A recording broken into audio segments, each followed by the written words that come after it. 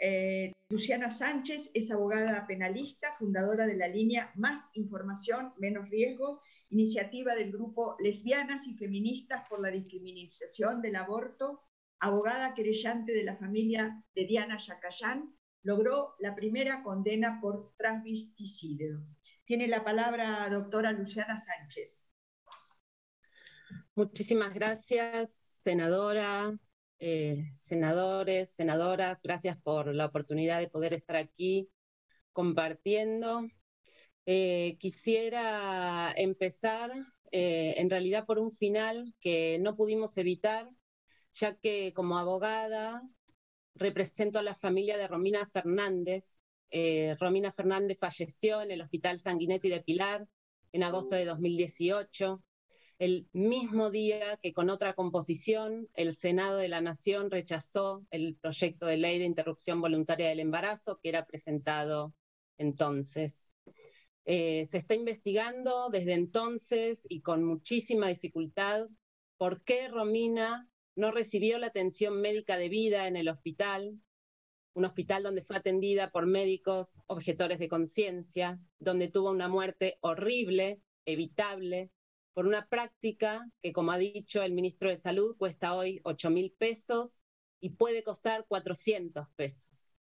Quiero empezar diciéndole a las hijas de Romina que la sobreviven, que Romina está presente hoy con nosotros en esta nueva oportunidad de discutir este proyecto. Ayer escuchamos también al ministro de Salud brindar nuevamente algunas cifras que parecían siderales. Quisiera ofrecer en este sentido, a modo de evidencia corroborativa, lo que ha sido la trayectoria de lesbianas y feministas por la descriminalización del aborto, que funcionó entre agosto de 2009 justamente hasta agosto de 2018. Hace 10 años, Verónica Marzano nos propuso a lesbianas, a mujeres, a travestis, a maricas, a varones cis y trans, organizarnos en una respuesta frente a la ausencia de recursos, prestigio y acceso a derechos que causa la crisis sanitaria del aborto y lanzar la línea telefónica Aborto más información menos riesgos y el manual Todo lo que querés saber sobre cómo hacerse un aborto con pastillas.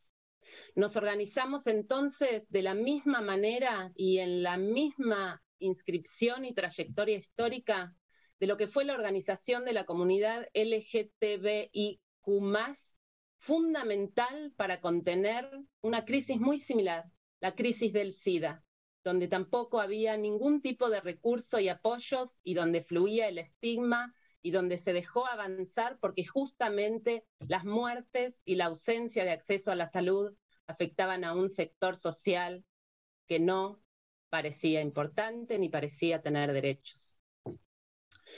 Cuando se prohíbe el aborto, se prohíbe también la circulación de ideas. Y esta circulación de ideas no se le prohíbe a cualquier sector, sino a las personas con capacidad de gestar y a las mujeres. Se considera que por tener útero o por ser mujeres no debemos tener derecho a determinado tipo de conocimiento, por ejemplo, información sobre aborto seguro, sobre nuestros derechos en la atención posaborto, a saber qué obras sociales y clínicas son objetoras de conciencia antes de afiliarnos. Así habíamos llegado a 2009 sin tener a disposición información sobre misoprostol, sobre cómo usarlo para evitar correr riesgo frente a un aborto o posaborto inseguro, clandestino, o cómo evitar estafas en las farmacias o frente a médicos dudosos. Esta información que había sido publicada por la Organización Mundial de la Salud en 2003 donde el misoprostol desde 2005, junto a la mifepristona, formaba ya parte de la lista de medicamentos esenciales que no pueden faltar en ningún país para asegurar la salud sexual y reproductiva. Antes del misoprostol, ningún método había sido considerado seguro por la Organización Mundial de la Salud para abortar en casa. Lo primero que nos llamó la atención es que nos llamaban mujeres de todas las clases sociales, y edades de todas las provincias del país, muy diferentes, pero todas tenían algo en común, haber intentado abortar y la falta de información. Muchas ya habían abortado un embarazo anterior y aún así no podían referirse a su propia experiencia. les había sido expropiada por el temor, por la anestesia, por el miedo a ser denunciadas o estigmatizadas como asesinas en su trabajo, en su barrio, en su iglesia.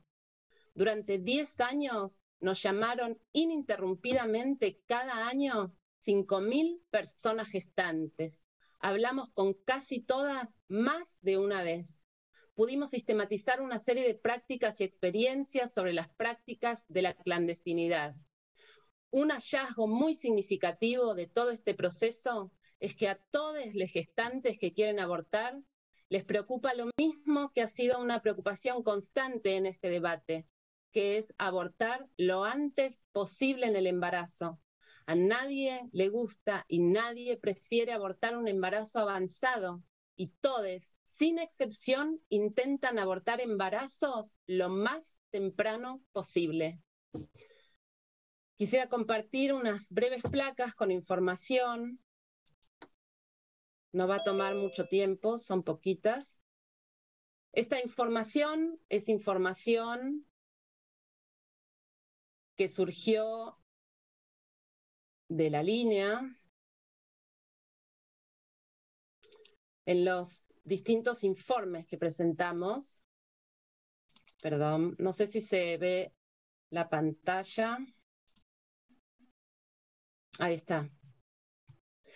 Bien, como puede observarse aquí, eh, hicimos eh, un estimativo comparado de cuándo abortan las mujeres en nuestro país. No sé si, si puede verse realmente. Estoy tratando de hacerla. claramente, pero. Bien, avanzo y en todo caso después eh, lo, lo envío. En Argentina casi la totalidad de las mujeres llama la línea, perdón, estoy tratando de poner la presentación, eh, llama la línea antes de la semana 12 de embarazo cumplida.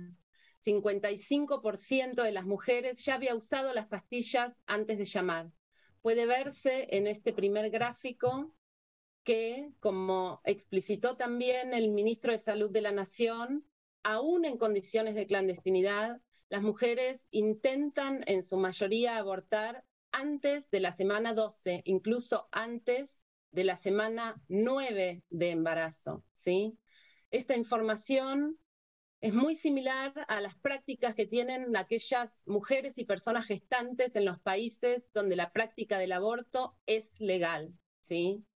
Vemos también que, como decía el ministro de Salud, es muy pequeño el porcentaje, menos eh, del 20%, menos del 10% quienes abortan más allá de la semana 13 de embarazo. ¿sí? Es un porcentaje menor. Eh, queremos referirnos especialmente a estas mujeres, a ese pequeño porcentaje, mujeres y personas gestantes, ese pequeño porcentaje de aquí que aborta luego de la semana 13. En realidad voy a incluir también a aquellas que abortan luego de la semana 10.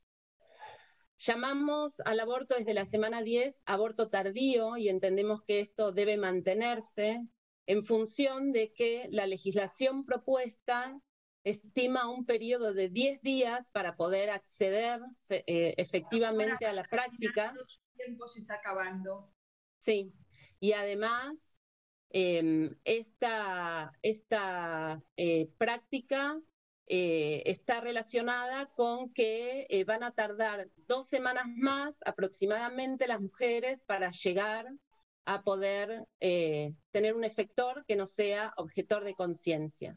Las mujeres que nos llamaron, que tienen que abortar en esta semana, son de distintas edades, el 61% tenía entre 10 y 12 semanas de embarazo, el 24% entre 13 a 14 semanas, el 11% entre 16 y 19 semanas. Y el 4% entre 20 o más semanas de embarazo. Asimismo, el motivo por el cual llegaron a 10 semanas o más tiene que ver con haber intentado abortar antes y no haberlo conseguido por información errónea, no haber logrado confirmar tempranamente el embarazo, motivos económicos mala praxis y no haber podido encontrar información fehaciente.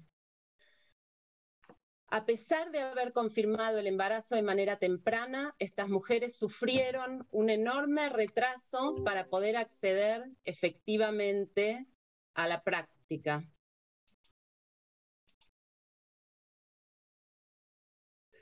Comprar el misoprostol a través del mercado informal le costó 30 días de trabajo a una mujer cuyo ingreso mensual es de 16 mil pesos, porque el misoprostol en el mercado informal cuesta exactamente el doble que en el mercado legal. Desde el segundo trimestre en adelante, todos los métodos de aborto son más riesgosos, por lo que actuar con rapidez es clave. Las mujeres quedan excluidas de la posibilidad de un aborto seguro si no pueden pagar los precios informales del mercado. Es por eso que para evitar los abortos de embarazos avanzados, es necesario garantizar un acceso legal a los abortos tempranos. Esto es lo que demuestra la información de la línea. La política es simple, se trata de confirmar el embarazo lo antes posible, de acceder a la información correcta y a los métodos seguros sin obstáculos cuando la decisión es abortar. Todo lo que retrase la posibilidad de abortar va a hacer que se tenga un embarazo que se produzca, perdón, que se tenga un aborto que se produzca más adelante en el embarazo. No va a evitar un aborto. Lo que se evita con esta política son justamente los abortos de embarazos avanzados. Para cerrar, quiero decir que felicito por lo acertado del proyecto en el sentido de proponer regular no la vida y la muerte, sino el acceso a una práctica, más bien una serie de prácticas que son cotidianas y que requiere esta, esta regulación, requiere actualización. Asegurar la prevención eficaz del aborto inseguro y del aborto avanzado requiere salvaguardar un amplio acceso a métodos de aborto seguro, sólidos, baratos y que puedan usarse también fuera del ámbito hospitalario. Esto permite resolver la barrera que plantea la crisis de recursos humanos que enfrenta nuestro país y que es común a los países de América Latina y se ha agudizado con el COVID, que es la falta de proveedores médicos capacitados y dispuestos a asumir nuestros abortos. Muchísimas gracias, senadoras y senadores. Quedan a disposición los cinco informes que hemos presentado a lo largo de diez años, que serán enviados oportunamente. Muchas gracias, doctora Sánchez.